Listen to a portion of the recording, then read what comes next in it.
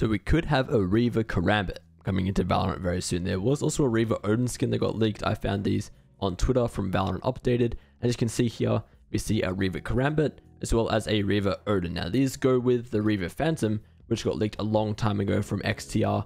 And since that leak, a lot of his other leaks have come true, like the recent Egypt skin bundle, the Aquarium skin bundle got leaked, the Spikes bundle, even the RGX Phantom as well. He leaked a ton of stuff very correctly and accurately. So we've known for a while now that Reaver 2.0 is going to be coming, and now we've gotten more leaks, very, very recent, of the Reaver Karambit and this Reaver Odin as well. Now, obviously, I think the Reaver Karambit is a bit more of a standout thing, a bit more exciting than the Odin. There's still a chance that this isn't going to happen. Maybe it won't actually come out soon or at all. But personally, I think it'll come out soon. Maybe even next update. We're due for another good bundle soon, one with animations at least. So keep your eyes peeled and let me know if you guys are going to cop the Reaver Karambit or not. Personally, I definitely think I will. Might have to wait and see how it sounds, but just the idea of a Reaver Karambit sounds pretty nice. Also, let me know what other skins you want to be in the bundle. If we already assume that the Phantom, the Melee, and the Odin are gone, let me know what two other skins you'd like to see. Personally, I wouldn't mind a Reaver Classic, and maybe even a Reaver Spectre or a Reaver Shotgun as well.